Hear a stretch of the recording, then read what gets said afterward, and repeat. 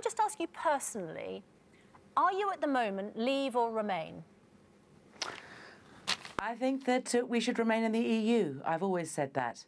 Uh, but our policy is to put it to the people and to get them to decide. So I suppose in the end, it doesn't really matter what I think. What matters is what the public thinks, and we need to put a proper deal to them versus Remain and find out what they say. That's okay. what our policy is. Okay, but just to establish, so you're the Shadow Foreign Secretary and presumably would be involved in the negotiations over this great new deal. What motivation would you have as a Remainer to get a great deal to leave?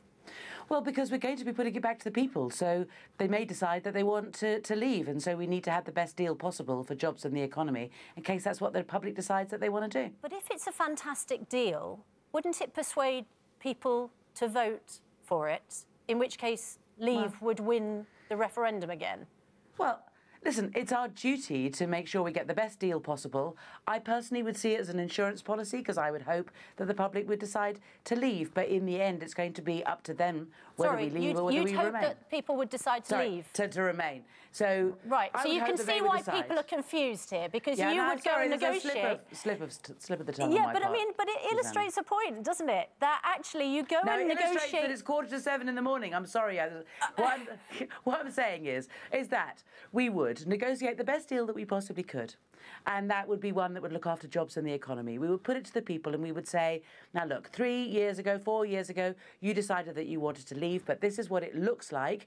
You know, and there are compromises. You won't get everything that you want because, frankly, there is no perfect leave deal where you can get everything you were promised during the referendum. But this is what reality looks like versus Remain. What do you want to do? How many, how many of the top shadow cabinet are leavers?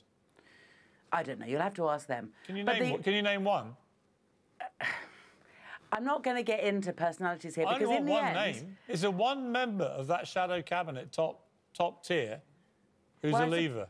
Jeremy think, Corbyn, for instance. Well, we know that we know that many many of your of your voters, Labour voters, voted to leave. But do, does anybody yeah. at the top of the shadow cabinet actually want us to leave?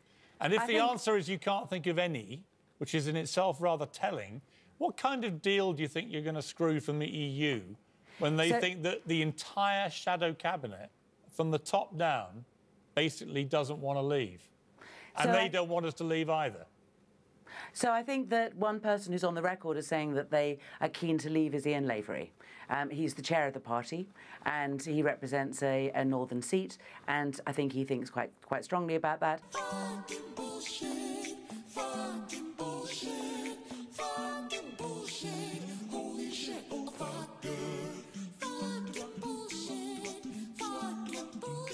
Problem. Why don't you just be more honest, really? Which is... I'm being completely honest You're not you. really. What you're yes, really... You all want, you want your cake and eat it, Labour. You've been sitting on this fence so far, you've all got splinters, right? No. Here's, here's the bottom line.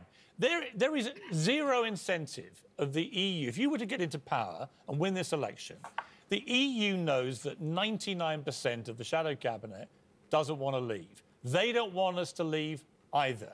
And yet you want to try and persuade the public that somehow this is going to be fair-minded, that somehow you're going to go in there and hardball negotiate a brilliant deal with the EU. It makes zero sense that that would happen. It, Why would anybody around that table be looking to do a great deal for us to leave when 99% of you want to stay in? The point is this, is that it goes back to the people. The people will be the ones who will be deciding. And what do we do? You're not going to give the people a choice on, let between... Me, let me talk, let you me keep... talk. No, hang on, no, no you no, let no, me talk. You All keep right, saying the people... Go, go, go, go All right, I will, thank you. I will. All right, I can do that. I can do that too. Question if you give me a minute. No, right? okay, but my point, is, you must surely understand the point, which is you keep saying we're going to give the public. You this said great... it a couple of times. Yeah, but and, you and keep like saying we're going to. You keep saying we're going to give the public this great choice to a great deal and remain. In fact, what's going to happen in reality, because nobody around that negotiating table actually wants to leave, you're going to have a very watered down deal, which no one's going to think bears any relation to Brexit, or staying in. And then I put it to you, the public are given a choice really between a version of Remain and full Remain. Do I speak now? Yes. OK.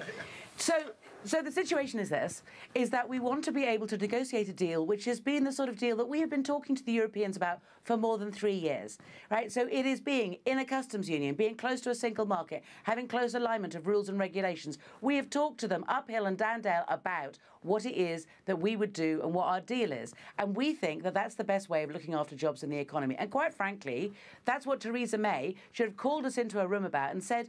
What kind of way do you want to leave the European But Union? Emily and we would have told her. staying part of then- the customs union Oh, means that we wouldn't be able to do trade deals with the rest of the world.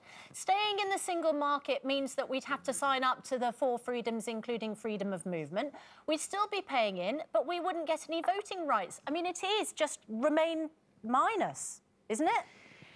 Being in a customs union means that we are not vulnerable to the likes of Donald Trump, who has been talking about trying to put the National Health Service on the table when it comes to negotiations with America on a trade deal. We've already heard, haven't we, about the way in which the government are preparing for us leaving the European Union by negotiating with US pharmaceutical companies to make the National Health Service spend even more on American pharmaceuticals. And, you know, we, if we open up a trade deal to America, we could end up with all this chlorinated chicken and, and beef with all these hormones in. And, and basically, we're vulnerable because there we are, just as Britain. So at a you don't want us to strike trade deals with the rest of the world. You I want to stay in the EU for the purposes of trade exclusively. So this is the point. People, Brexiteers, will look at your choice as you're offering in this second referendum and think it's actually not a choice at all because you're not offering a leave option. Okay, and as you are which is- majority Remainers, you don't have an incentive Let to me- offer a leave option.